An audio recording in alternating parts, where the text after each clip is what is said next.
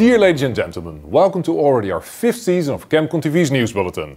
With CCTV, we can share news and information from ChemCon Asia 2017 in Beijing with you.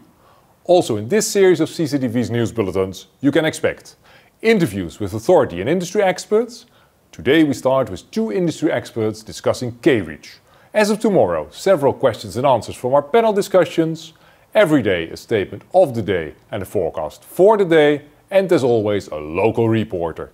This time showing you beautiful Beijing and sharing interesting Chinese characteristics.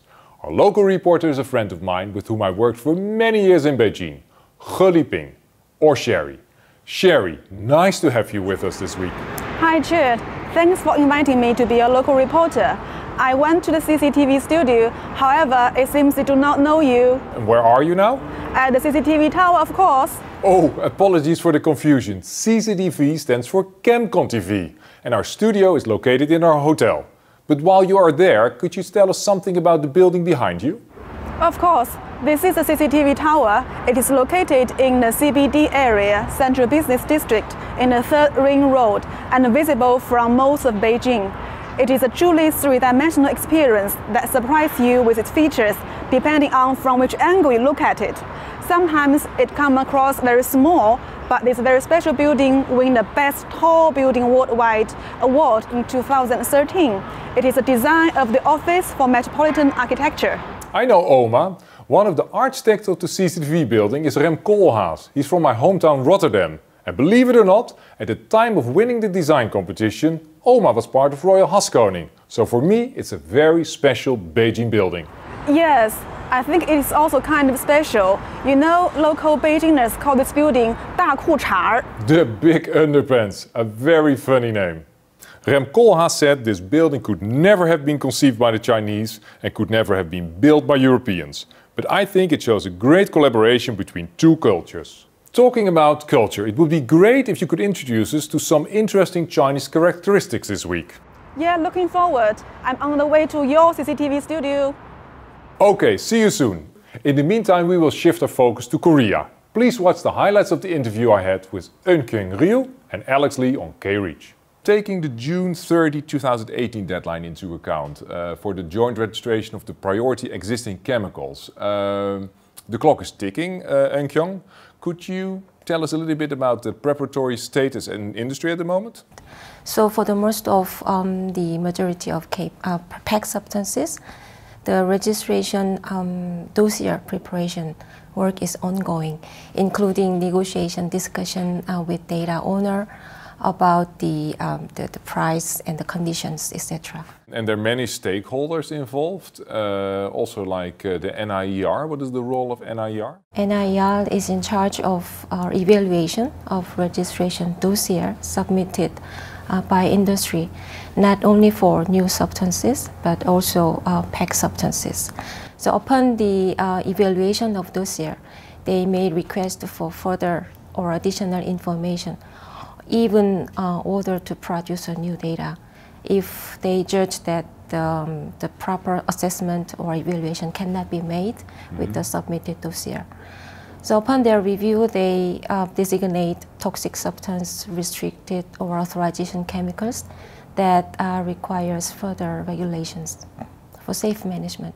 The complete interview can be viewed at our website, YouTube channel and of course Tudou. And for those here in the hotel, at channel 30 or you just press the CCTV button in our ChemConnect app, which brings me to the statement of the day. Also in Beijing we use our ChemConnect app that allows us to share news and allows you to engage in interactive polls and you can use it for coming together. Regarding the statements, sometimes the statement is an actual statement and sometimes it's a more trivial question, like this example. If you play Mahjong you need to recognize them and many street signs in China also display the wind directions. So it would be great if you can recognize them. Can you place them in the right order? With us in the CCTV studio in the northern capital of China, Beijing, Ms. Rainbow Zhang of Intertek for the very first statement of the day. Rainbow, welcome. Hello, my pleasure to be here. Rainbow, you of course know all wind directions. Uh, Beijing, the northern capital. Uh, I lived in Jiangsu for a while. Nanjing, the southern capital. Mm-hmm. Uh, I heard that Kaifeng in Henan has been named sometimes Dongjing, the eastern capital. But mm-hmm. was there ever a Xijing, a western capital? Yes, it should be Xi'an in the northwest of China and uh, within the province of Shaanxi. Okay, famous for the terracotta army. Yes. Okay, we know a lot about Intertek, of course. It's uh, active in all wind directions in a lot of countries, uh, which enables you to assist global companies with a global test strategy. Why would you recommend such a strategy for companies? Global testing strategy always lead to a more efficient, economical, and uh, timely access to the global market. And your statement is? My statement is a company should have its global testing strategy. Thank you very much. Let us know what you think about it. Before we go to the forecast of the day, we first go to Cherry with some local Chinese characteristics. Good to see that you found the studio. I'm glad too. I see you have discussed wind directions. Maybe good to add the character Zhong, also found in Chinese mahjong game, and of course the first character of China, Zhongguo, the Middle Kingdom. Since for ancient Chinese, China was the center of the world. Many names of foreign countries are supposed to reflect a nice meaning or phonetic translations. Some interesting examples such as 美国, America, beautiful country. First character means beauty and resembles sound m in America. 日本, Japan, land of the rising sun. And your country, 荷兰, the Netherlands, or Holland. Helan sounds vaguely like Holland and means lotus arcade, so a flower country. A small but great country. Please join us at tonight's welcome reception. It's also related to Helan. That would be nice, but where is it? Only ChemCon Asia 2017 secret, which we will not reveal yet. But I give you one hint. It's another Beijing building in which Royal Haskoning DHV was involved. Now, that's all for now. Time for the forecast. Before the welcome reception, a lot of interesting presentations. This morning we will start with a workshop on new chemical notification in China. After that we'll take a global approach to notification of new chemicals, polymers and biocides. And in the afternoon, a seminar on Korea. Thank you for watching and looking forward to seeing you at tonight's welcome reception.